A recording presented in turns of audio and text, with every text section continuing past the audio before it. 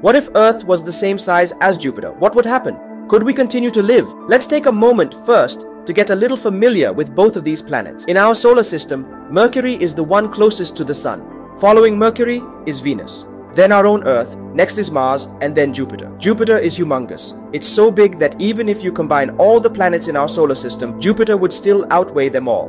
In fact, Jupiter is so massive, it could hold more than a thousand Earths. Interestingly, Jupiter doesn't have a solid surface like ours on Earth. Jupiter is actually a gas planet. Imagine if Earth was that big, right? Each individual would have thousands of acres of land to themselves. Sounds amazing, doesn't it? But first, let's consider the implications for life. Could we live on a planet that large? If Earth was that big, its gravitational pull would be 11 times stronger.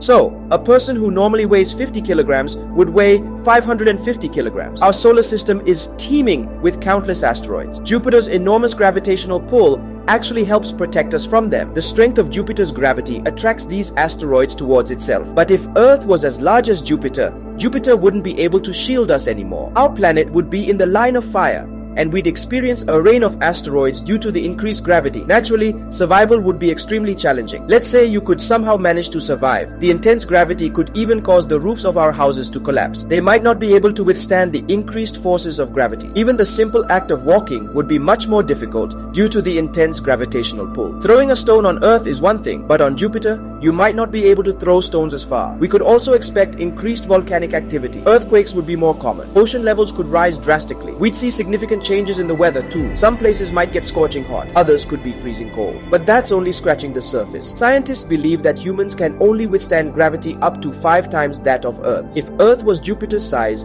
the gravity would be more than twice that limit. Even breathing would become a struggle. Buildings might crumble under their own weight. Furthermore, the increased gravity would enormously intensify atmospheric pressure. In some places, the temperatures could get so hot that water would start boiling. Conversely, in others, it could get so cold that you could literally freeze solid. All told, Earth should stay just the way it is. It's perfect for us in its